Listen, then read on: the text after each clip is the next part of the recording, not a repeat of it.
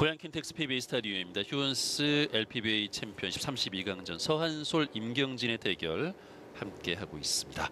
자 이제는 승부치기까지 왔는데요. 임경진 선수가 초구 선택을 했어요. 네. 시작.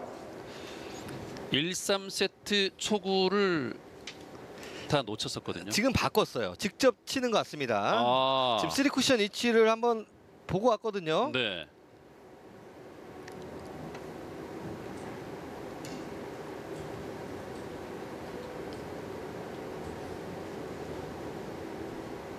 빨간 볼 뒤돌리기 1, 3세트 때는 이제 5 쿠션 반대 이번에는 직접 공략합니다.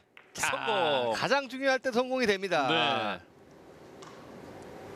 아, 정말 선택을 바꾼 거는 신의 한 수 같아요. 지금.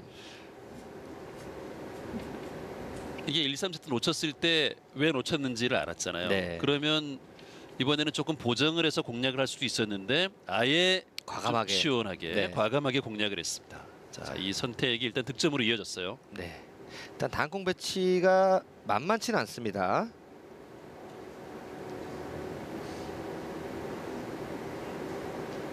옆돌리기 대회전으로 가는데요. 자, 오, 키스가 제거가 빠졌어요. 됐고요.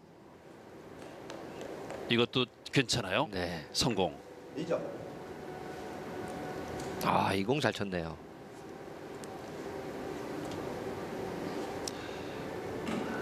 적당히 득점하고 공만 열어주지 않으면 임경진이 유리할 수 있죠. 근데 여자 선수들은 지금 승부치기를 많이 안 해봤기 때문에 네. 공격적으로 갈 수도 있어요.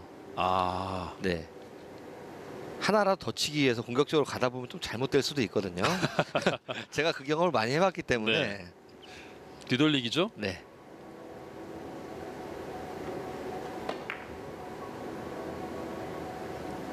이 타이밍. 노란 공이 아,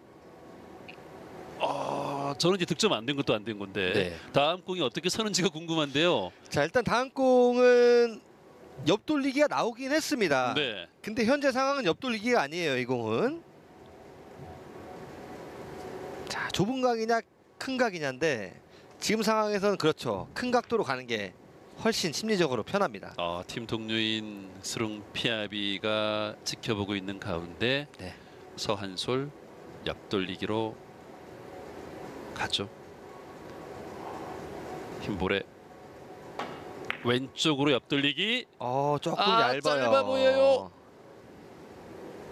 이렇게 승패가 결정이 됐습니다. 네 오늘 아 임경진과 서한솔 서한솔이 좀 더 16강에 가까웠던 것처럼 보였는데 임경진 네. 선수가 4세트를 잡아냈고 결국은 승부치기로 와서 과감한 결정을 했는데 이게 주요했어요. 그렇죠. 일단 승부치기에 뭐 이긴 요인을 보면 초구 치는 방법을 바꿨다. 네 그게 좀 가장 컸고요. 그렇습니다. 네. 아, 서한솔 선수는 글쎄요 지금 패배 이유를 뭐 어떻게 찾아볼 수 있나요? 일단은 뭐 흐름이 왔을 때 잘 살리긴 했거든요. 네. 근데 뭐 인경 선수가 4세트도 살아나면서 4세트는 좀 어려웠고요. 아 이거를 좀 넉넉하게 쳐내질 못했네요. 아, 근데 이 승부치기 굉장히 어렵습니다. 네, 승부치기를 많이 경험해본 김기혁 해설위원이기 때문에 많이 경험했고 많이 졌습니다, 저는. 네. 아, 임경진의 선택이 주요했다. 네. 그리고 이제 4세트 기회가 왔을 때 폭발적인 득점을 하면서 세트를 가져온 것이 또 주요했다. 네. 어떻게 본다면 뱅킹에서 이긴 것도 결국은 승패에 영향을 줬다. 이렇게 볼 수 그럼요. 있겠네요.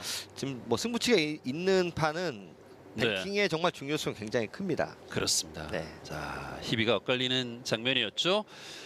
휴온스 LPB 챔피언십 32강전 임경진과 서한솔의 경기 함께했습니다. 임경진이 승리를 거두고 16강에서도 김가영 선수와 승부를 펼치게 됐습니다. 자, 오늘 두 선수의 경기를 김기혁 해설위원과 함께했습니다. 저는 캐스터 박찬이었습니다. 여러분 고맙습니다.